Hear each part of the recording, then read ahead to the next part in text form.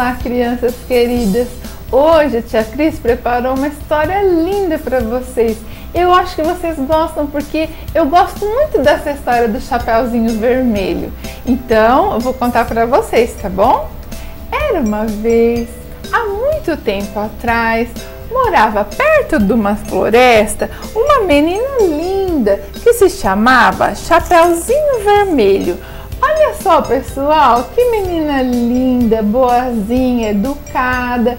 Um dia a sua vovó fez uma capinha para ela e ela não tirava mais aquela capinha. Tinha um gorrinho, vinha até os seus ombros.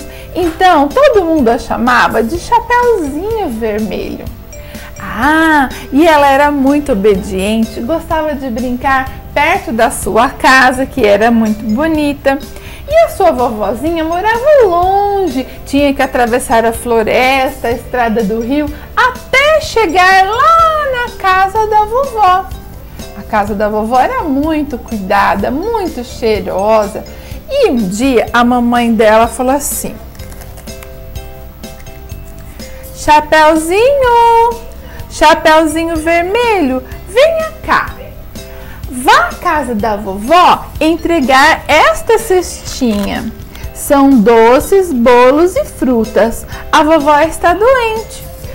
Vou correndo, mamãezinha. Vovó vai ficar contente. Mas olhe, minha filha, não vá pela estrada da floresta. Vá pela estrada do rio, porque o caminho da floresta, os caçadores disseram que há lobos lá. Pode deixar, mamãe? Eu vou e à tardezinha estarei aqui contigo de novo. Então ela foi. Pela estrada fora eu vou bem sozinha levar esses doces para a vovozinha. Ela mora longe, o caminho é deserto e o lobo mal passeia aqui por perto. Mas à tardinha, ao sol poente, junto à mamãezinha dormirei contente. Mas pessoal, ela escutou uma voz. Quem é que está aí? Quem é que está aí? Ah, sou eu, Chapeuzinho. Onde você vai? Vou à casa da vovó entregar essa cestinha. Oh, por que você não vai pela estrada do rio? Ah, a estrada do rio não é boa. Vá pela estrada da floresta. Não, mas a mamãe falou que na estrada da floresta tem um lobo. Que nada, o lobo já morreu há muito tempo. É mesmo? É sim, vá pela estrada da floresta. Gente, e a Chapeuzinho desobedeceu a mamãe e obedeceu a voz que ela nem sabia de quem era e foi pela estrada da floresta.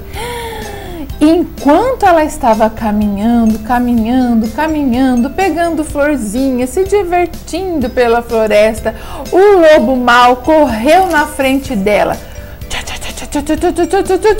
e chegou primeiro, primeiro na casa da vovó bateu e falou assim: toque, toque, toque. Alô, vovó! E a vovó respondeu lá de dentro: Ah, quem é? Sou eu, sua netinha. Pode entrar, Chapeuzinho. Quando a vovó percebeu, não era Chapeuzinho, era o lobo que veio e nhaque, comeu a vovó. Comeu a vovó, deitou na cama da vovó e ficou lá esperando o Chapeuzinho chegar. Ai! E a Chapeuzinho veio toda despreocupada. Lá, lá, lá, lá, lá, lá, lá, lá, lá, lá, lá, lá, lá. Vovó, vovozinha. Quando ela entrou, pode entrar, minha netinha. Ela entrou na casa da vovó e encontrou a vovó dormindo. Porém, Ela achou muito estranho, porque a vovó tinha um nariz muito comprido, então ela começou a perguntar: Vovó, por que você tem um nariz tão comprido? É para te cheirar melhor. Por que você tem essas mãos tão grandes? É para te abraçar melhor. Vovó, por que você tem essa orelha tão comprida? É para te ouvir melhor. E essa boca, vovozinha, tão imensa? Queres saber? E foi levantando. Queres mesmo? Então eu vou te comer! E eles começaram a correr! E a Chapeuzinho correu! Fugiu, fugiu, fugiu! E se trancou dentro do guarda-roupa!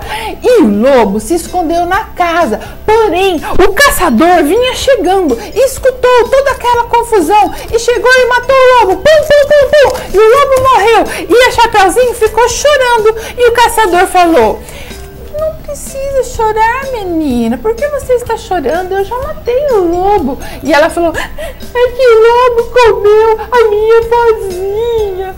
Então o caçador abriu a barriga do lobo e tirou a vovozinha de lá de dentro. Vivinha, viva vovó!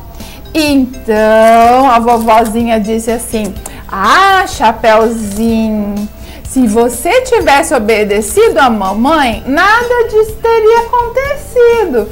É mesmo, não é, vovó? Agora você volte para casa da mamãe e aprenda a lição. Sempre obedecer os mais velhos. E aí o caçador levou a Chapeuzinho de volta para a casa da mamãe, que já estava esperando a Chapeuzinho. E a mamãe abraçou a filhinha, agradeceu o caçador e todos foram dormir felizes, menos o lobo, é claro. Um grande beijo e fiquem com Deus!